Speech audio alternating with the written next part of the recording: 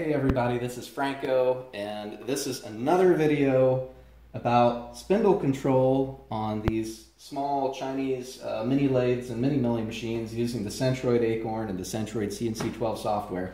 And if you've been watching my other videos, you know that this is something I've been trying to do for a while and I've been trying to figure it out and I've blown some stuff up and I've asked a lot of questions and I've received a lot of help from you and your comments. I really appreciate it.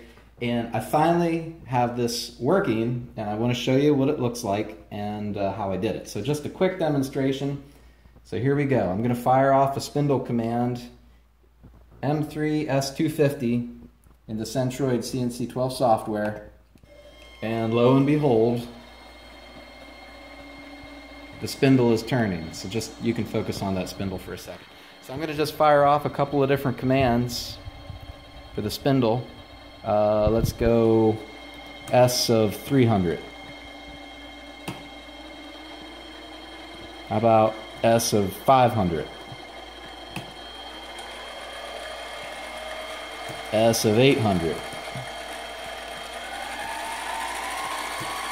We'll take it up to a thousand.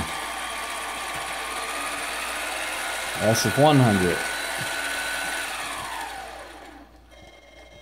Now I don't have the actual speed and everything calibrated yet, but I, I'm just using this as a, an example. But the point is, we have we have spindle control on the uh, mini lathe using the Centroid Acorn controller. And of course an M5 will give you a, a complete stop. So I'm pretty, I'm pretty stoked that this is working. Oh, here, M3S1000. Let me give it another command. There we go. On S500. Slow it down. S100. And then, of course, a stop, M5. Cool, so I am stoked. I got this working, and I'm going to give you a little bit of information to show you how I did it. So I'll pause the video, and then I'm going to show you some things here in this control box.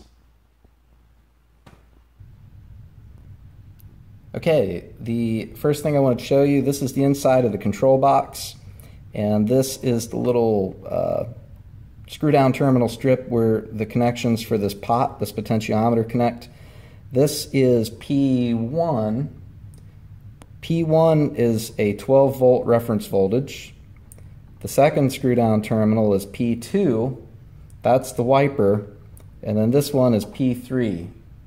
Uh, and that's the ground.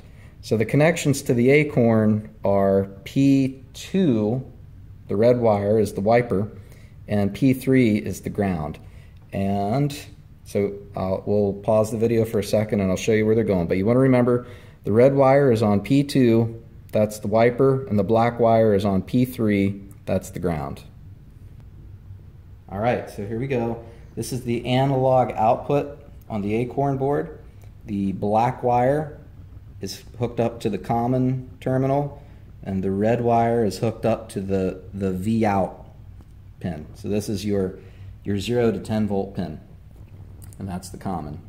So it's pretty much that simple. Now here is the here is the trick. Here's why this worked this time and it blew up on me last time. You'll notice there is no there's no ground wire hooked up to the board.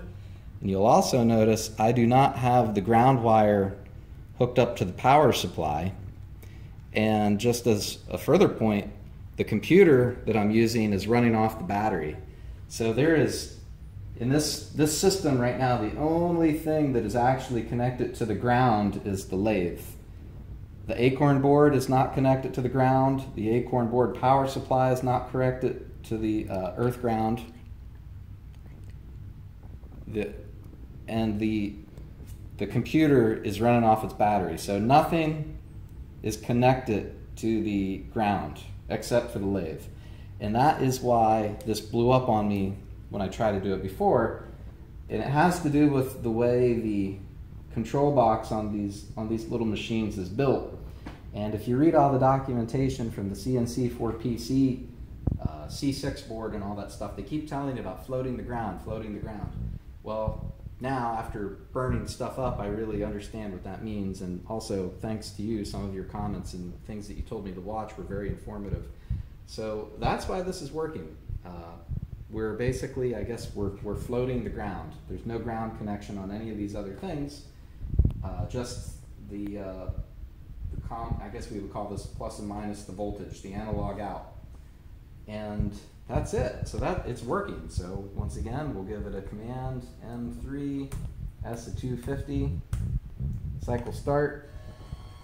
There we go. We have spindle control and uh, S500. Fire it up.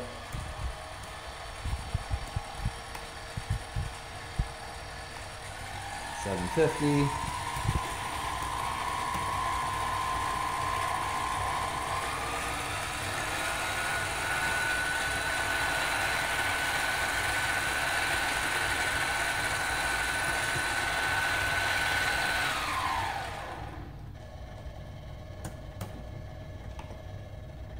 All right. Well, I'm really happy. This is cool. This opens the door to a lot of different things now.